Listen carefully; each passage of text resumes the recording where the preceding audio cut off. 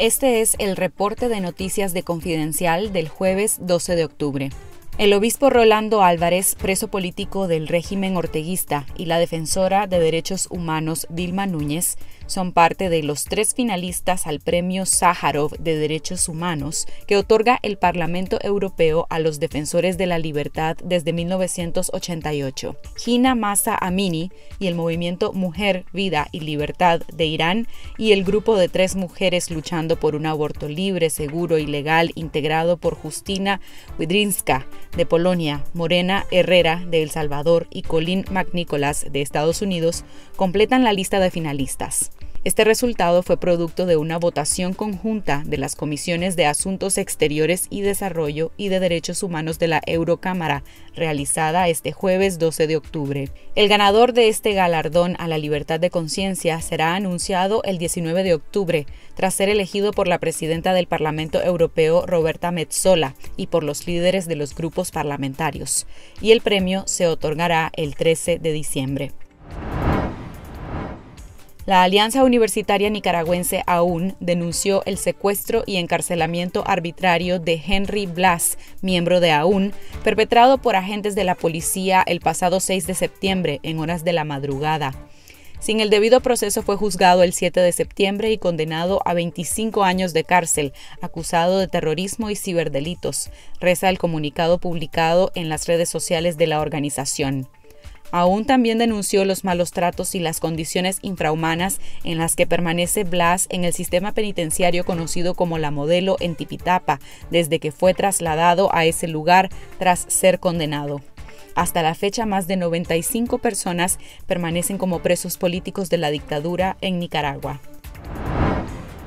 La resolución de la Organización de los Estados Americanos OEA sobre Nicaragua, aprobada por aclamación este miércoles 11 de octubre, demuestra que el organismo regional tiene la voluntad de continuar monitoreando la crisis de derechos humanos de Nicaragua, a pesar de que en un mes este país dejará de ser Estado miembro, señaló el experto en Derecho Internacional Harold Rocha en entrevista para esta noche. Nicaragua continuará siendo parte de la comunidad internacional, uh, continuará siendo, estando sujeta a otros instrumentos del sistema interamericano, del sistema universal, continuará manteniendo relaciones bilaterales con muchos de los Estados miembros de la OEA. Rocha valora que es posible que el grupo de trabajo del Consejo Permanente, constituido en 2018 para Nicaragua, y el mecanismo especial de Seguimiento para Nicaragua de la Comisión Interamericana de Derechos Humanos le den seguimiento a los casos que siguen pendientes dentro de la Comisión y la Corte Interamericana.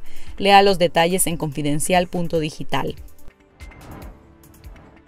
La Fiscalía General de la República de El Salvador intervino una cuenta bancaria del expresidente y prófugo de la justicia Salvador Sánchez Serén y dos inmuebles de exfuncionarios de su gestión en un proceso de extinción de dominio, según informó este miércoles la institución.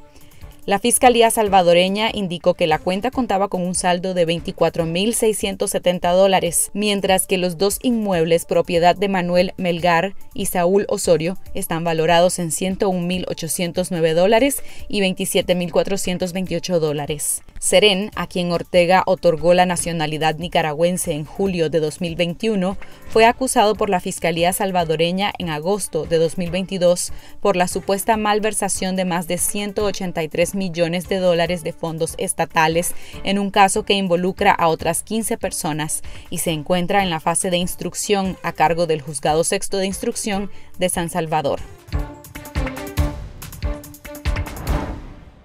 Gracias por ver este video.